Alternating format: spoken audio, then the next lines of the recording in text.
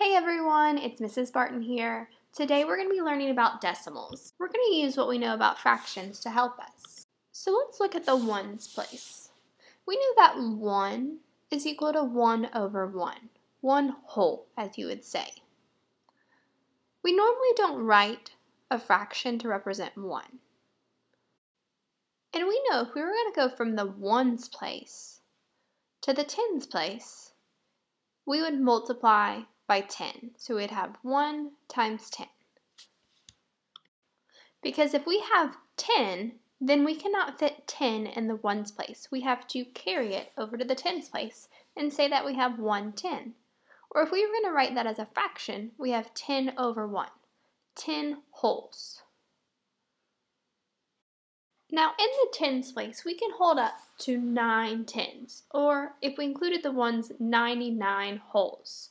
Once we go past that 99, we're going to have to move to the hundreds place.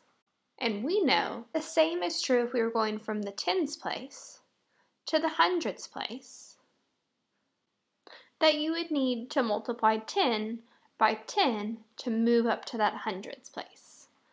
Every time we move up one place in the place value chart, we're increasing by times 10. We would write that hundreds as 100 over 1, meaning 100 wholes. And that would extend all the way up to 999 wholes, with 9 hundreds, 9 tens, and 9 ones. Once we add one more whole to that, we have to move to the thousands place, because each place can only hold one digit. And we know going from the hundreds to the thousands is going to be the same. You're going to have to have 100 times 10 to equal thousands. Same thing as if you had 200. To get to 2,000, 200 times 10. Now in the thousands place, we're going to represent that thousand as a fraction, as 1,000 over 1, extending all the way up to 9,999 wholes. Again, if we add one more, we're going to have to move into the 10,000s place because we cannot hold any more ones in the thousands place. Again, if we move from thousands to ten thousands, we're going to have to multiply 1,000 times 10. Same thing as if it was 5,000 going into the 10,000s, we'd have to have 5,000 times 10 to make 50,000. Each jump in the place value chart is 10 times greater than the last place we were in. So if we're in the 10,000s, we're going to represent that as a fraction as 10,000 over 1, or 10,000 wholes that's going to extend in this place up to 99,999, a 9 in each of the places after the 10,000s place. Once we add one more 1, each place is going to have to round up to the 100,000s place. And again, going from the 10,000s to the 100,000s place, nothing has changed. It's going to be 10,000 times, yes, you guessed it, 10. Just like every other place, the next place in the place value chart is 10 times greater. Now, as we get to the hundred thousands place, it's going to be the exact same way. We're going to represent it as a fraction over 1. That 1 representing wholes, because 1 is the basis of all whole numbers. Every whole number is made with ones. So we have 100,000 over 1 all the way up into 999,999. Again, a 9 value in a place is the highest value you can have in one single place. So once you get one more, then it has to go to the next place because 10 is actually two digits. It's a larger value. To get to the millions place, yes, we have to have 100,000 times 10. Same as if it was 800,000, changing it to 8 millions, 800,000 times 10. If you have 1 million represented as a fraction, it's going to be 1 million over 1 because it's representing 1 million wholes. This in this place would extend all the way to 9,999,999 wholes. The same thing would continue through the place value chart if we were going to extend. We'd go into the 10 millions, the 100 millions, the billions, the 10 millions, the 100 billions, all the way continuing the exact same pattern up into infinity, which never ends. Each time you're increasing a place value, you're increasing by 10. Every time you take one jump to the next higher place in a place value chart, always 10 times greater. Now let's look at the decimals. These are on the other side of the ones. Normally we wouldn't see that. Normally we would just see the ones and then it ends. However, we can add a decimal point and some fractional values. This means that we're now dealing with parts of a whole, parts of one, as long as it's any whole broken up into parts. The place values we're going to worry about are tenths and hundredths. First, let's look at the tenths place. Same thing, if we're moving one place in the place value, we have to think, hmm, we know it's going to be times 10, so what times 10 is going to equal 1 whole? Well, we know it has to also be a fractional part. So if I was going to make this a fraction, I would have 1 tenth. That's where the tenths come from. That THS represents its out of 10 total. So it's a fraction broken up into 10 parts. We can represent this as 10 times 1 tenth represented as a decimal here instead of the fraction. We know that we have a decimal point there. If we're going to multiply it by 10, then it's going to move the decimal point one place to the right to get us that one whole. Just as we know 10 tenths is equal to one whole. So if we have 1 tenth, we're going to go all the way up to 9 tenths because once we get 10, our whole is complete and that would have to move to the ones place, giving us that 10 tenths or as we know, 1 whole. Both of those are equal to one another. It has to be tenths though to be represented as a decimal as the place right after the decimal point because our numbers are based on 10, not any other value. So let's look at representing that range of decimals in the tens place as decimals. We'd have the 0 to represent 0 wholes, a decimal point, and then the 1 to represent 1 tenth. That would extend to 0 and a decimal point and 9 tenths. You read it just as you would as a fraction. If I wrote it in decimal form for ones, I would have 1 decimal point 0 to represent 10 tenths. That THS on the end is very important. Now let's look if we are going to make more than one jump on the place value chart, increasing by two places rather than one, we'd have to multiply by 100 because we have two jumps, each jump representing times 10. So if we took two place values increasing, then we'd have 10 times 10, which we know is 100. So let's keep that in mind when we're looking at the next place in our decimal value places. We have the hundredths. We know that the hundredths is two places away from the ones. So if we think the exact same way as we did with the tenths, we have to think what times 100 would equal 1 whole? Well, that's where we're going to get 1 over 100 to represent 1 hundredth. That THS again on the end of that place value name, hundredths. We have to use the exact same values as we have in our wholes because those are all based on 10. We know that hundredths then would be 10 times less than tenths, just as tens are 10 times less than hundreds, representing that one whole as 100 over hundredths to represent the jumps that have taken place in the place value chart.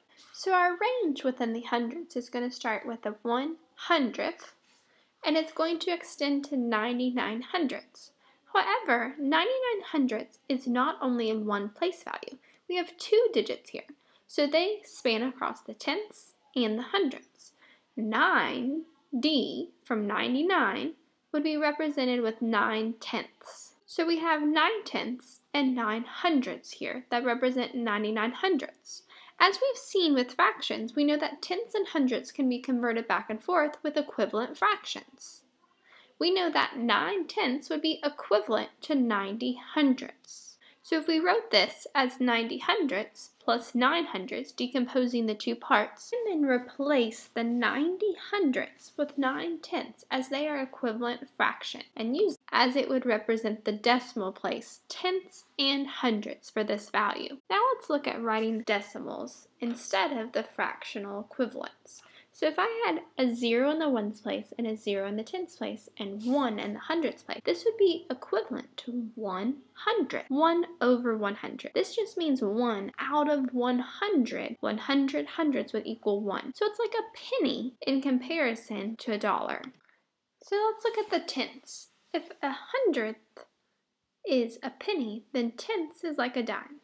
We would represent that as, as 1 over 10 equaling the same as 10 over 100. They're equivalent fractions representing the same amount. 1 tenth or 10 hundredths, just the same as if you said, I have one dime. Well, one dime is worth 10 cents. 10 out of one whole dollar. In decimal form, you'd write that as 0 decimal 1 and a 0 after to represent 10 hundredths, or just 0 decimal 1 to represent 1 tenth. Now let's look at other examples of decimals. If I had zero wholes or zero ones and zero tenths, but I had six in the hundreds place, that would represent six hundredths. You would say it exactly like you would the fraction. Six hundredths, representing six out of 100 total. Now what if I had a value in the ones place? Well, that's not going to change anything with the decimals. It's just going to add more value to your total number. So if I still had that 6 in the hundreds, but a 2 in the ones place, that would represent 2 wholes, or 2 ones, and 6 hundredths. You would say that AND to represent the decimal. That is why we don't normally say AND in any other whole numbers, because it represents the change in whole numbers and fractional values. Now if I was going to add a value of the tens and any other numbers in front of that, that's only going to change my whole number giving us 12 wholes and 6 hundredths. Nothing changed with the decimals. Every time that you're in the ones place that we've normally worked with, it's all over 1, meaning it's a whole, 1 representing one whole. Everything on the other side of the decimal represents out of tenths or hundreds, or if we continued on thousands, ten thousands, hundred thousands, millions, it's all less than 1. It's a whole broken up into fractional pieces. That's why it has that THS on the end to represent that it's out of that many. So let's look at a bigger value. If I have 324 wholes, 3 hundreds, 2 tens, 4 ones, 0 tenths, and 8 hundredths, this number is 324 and 8 hundredths to represent the fractional parts and the whole number combined together. Think of this as money. If I put a dollar sign in front of this, this will look just like normal money. Money always has two decimal points afterwards because it represents tenths and hundredths, dimes and pennies. We don't have any place for nickels. That is not necessarily the place values. We just know that 100 pennies equals one whole and 10 dimes equals one whole as well, representing that hundredths place and the tenths place. Just as we do when we write our fractional pieces and decimals are values. If we had 24 cents, that would be zero wholes and 24 hundredths. 24 hundredths, 24 out of 100 pennies that equal $1.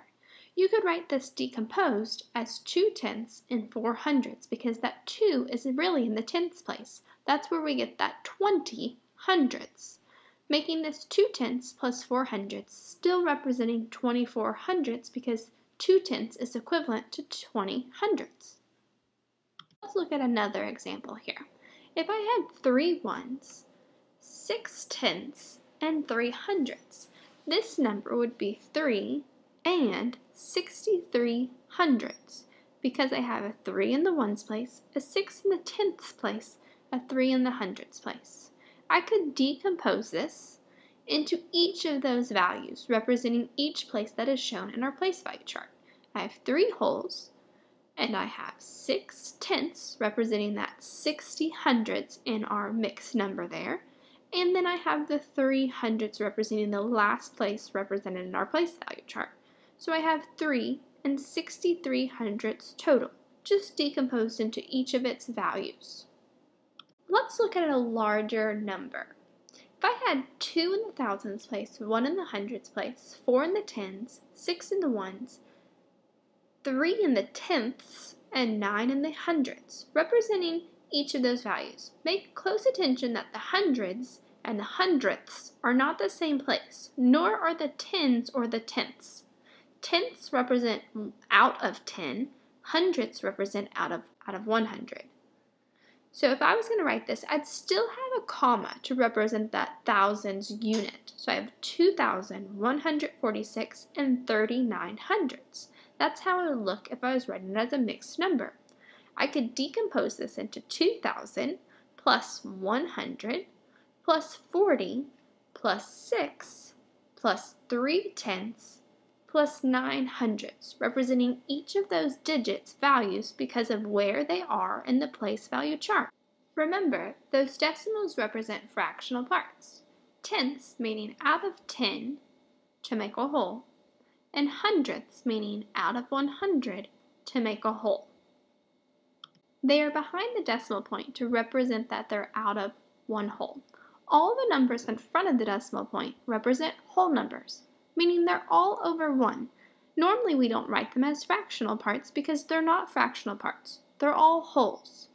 This would continue on in the same exact order on the other side of the decimal. We would have thousandths, ten thousandths, hundred thousandths, millions, each of those representing parts out of that many. However, we're only concerned with the tens and the hundreds.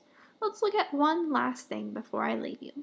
If I was going to write one whole with the decimal representations, I would have two zeros after the, after the decimal to represent that I have one whole and no fractional pieces, representing 100 hundredths or 10 tenths or, as we would normally say, one whole.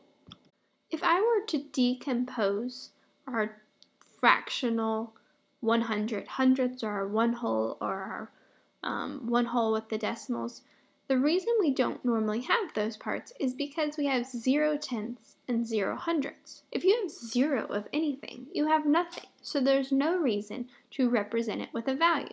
That's why we normally leave off the decimal values, unless we're dealing with money to show that we don't have any extra cents represented by the hundreds or the tenths, the pennies and the dimes. We just have one whole.